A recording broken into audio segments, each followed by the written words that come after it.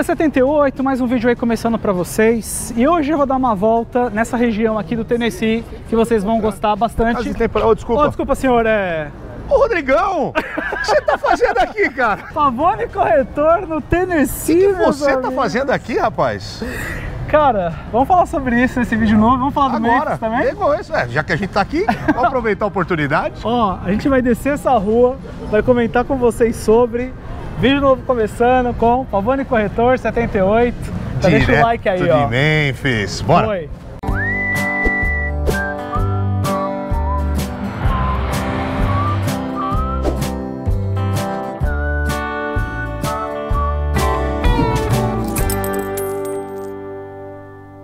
E é o seguinte, família 78, a gente está neste momento aqui em Memphis, Tennessee. Tennessee. Pavone, o que, que você está fazendo aqui no Memphis, cara? É, é, tipo, conta pra gente, o que, que você tá perdido aqui, cara? Não mudei de Orlando, não Aham. larguei minha profissão. Começa Ok. por aí, tá? Ok? Não, eu, Importante.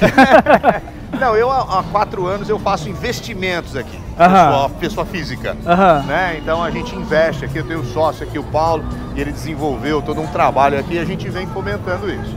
E aí, como lá em Orlando, praticamente a gente acabou com as oportunidades de investimento nesses faixas de preço que eu trabalho aqui, de 60, 120, 150 mil dólares, aí eu comecei a trazer isso para os meus clientes. Então, uma vez por mês ou a cada dois meses eu estou aqui para ver como é que estão os investimentos dos meus clientes, gravar um vídeo, fazer alguma coisa e tal. Então, Então- é isso que eu estou fazendo aqui. Mas então você está falando de investimentos nessa faixa de até 100 mil dólares. Até 120 mais ou menos, é. Casa residencial, o cara que quer Moradia. morar, moradia, não, não, não, Orlando. Não, não, não vendo. Tá, Não perfeito. vendo. não. Assim, eu sou corretor, mas não sou corretor aqui. Perfeito. Entendeu? O que eu faço aqui, assim, eu compro a casa, eu reformo a casa, eu ajusto ela, ponho um inquilino, trabalho a casa.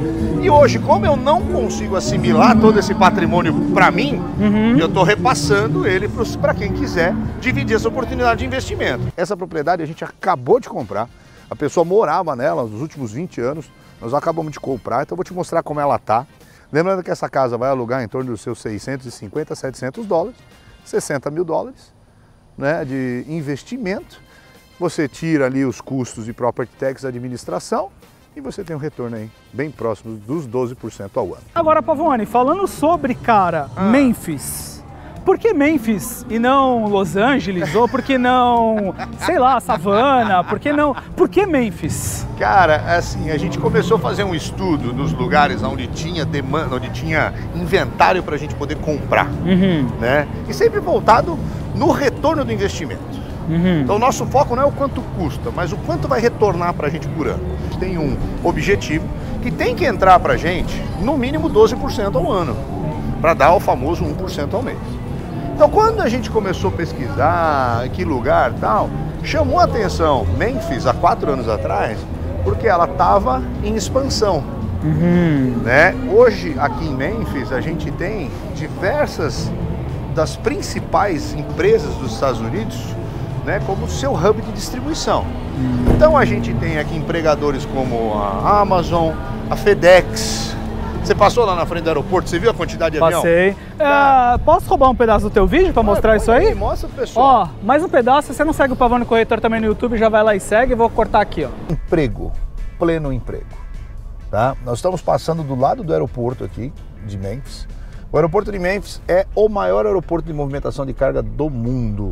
Ele perdia para Hong Kong, esse ano já bateu. Ele é o hub da FedEx. FedEx é o maior empregador daqui da cidade de Memphis. Ah, então esses caras, Pavone, estão por aqui e aí é- o ponto é, tem muita gente trabalhando, geração de emprego. Não, exatamente. A gente tem muita geração de emprego. Então, a gente tem toda essa infraestrutura. Então, culminou de que tinha empre... e tinha inventário, tinha casa para poder comprar. Aham, Pleno emprego. aham. E Memphis é a- uma cidade que a população mais vive de locação.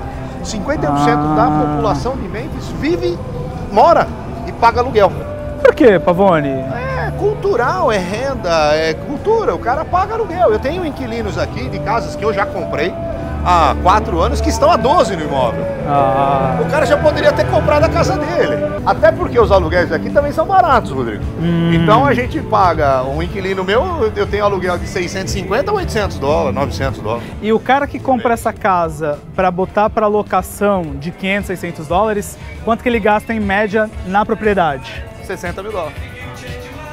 Vocês viram que nós fomos numa casa dessa. A gente foi no que a gente pode chamar da casa mais barata dos Estados Unidos, sem sombra de dúvida. Ah, hoje é. 60 mil dólares. É. Quando o Pavone me falou, eu confesso que eu achei que seria muito pior. E não é. A casa é legal. Assim, eu não acho que é uma casa legal para se morar, mas é uma casa legal para você investir. E hoje, assim, quatro anos depois que eu tô frequentando aqui, que eu tô investindo aqui, era muito pior. Hoje já tá bonito demais. Né? Tá melhorando, a gente tá vendo, cada vez mais tá melhorando. O pessoal tá com dinheiro. É. Né? O pessoal tá com emprego. Então isso é muito importante pra gente. E Até a- o estádio da, da FedEx. Olha que louco. E a FedEx, eu preciso até comentar isso do vídeo do Pavone. Eles têm aqui uma estrutura gigante, né, Pô, Pavone? É o hub de distribuição da nossa costa aqui, da, da nosso lado aqui dos Estados Unidos. Eu nunca sei se é leste ou oeste, porque eu Aham. tenho essa dislexia. Mas é, é o hub de distribuição, então ele recebe tudo que vem de lá, lá da região da Califórnia para cá, do norte e do sul, concentra e faz a distribuição. A Amazon, a Nike, a Nike também é outro dos grandes empre- empregadores aqui, entre outras em- empresas grandes que a gente tem aqui na região. É uma cidade muito grande. É, cara, você me respondeu E muito por quê. antiga, né?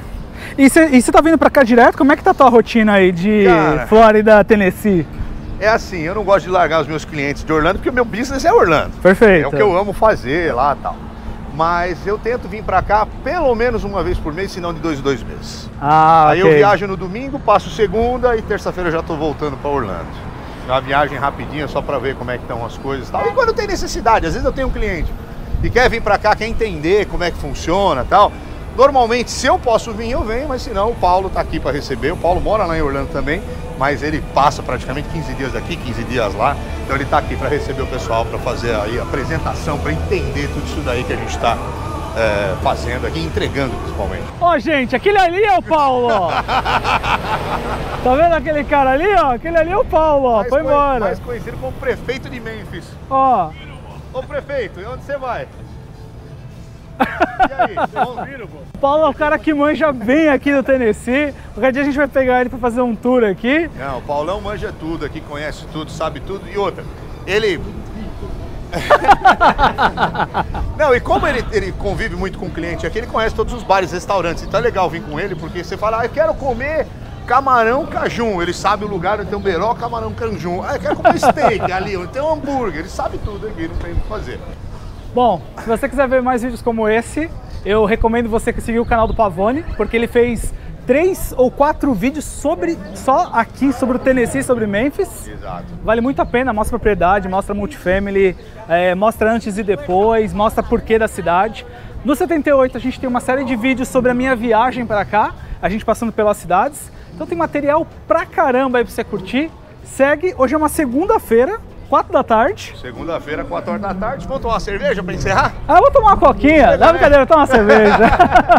Agora, uma coisa que eu ia falar é o seguinte: eu sou um cara apaixonado pelos Estados Unidos, pela cultura que os Estados Unidos têm, assim como você também é, a Patrícia Aham. também é.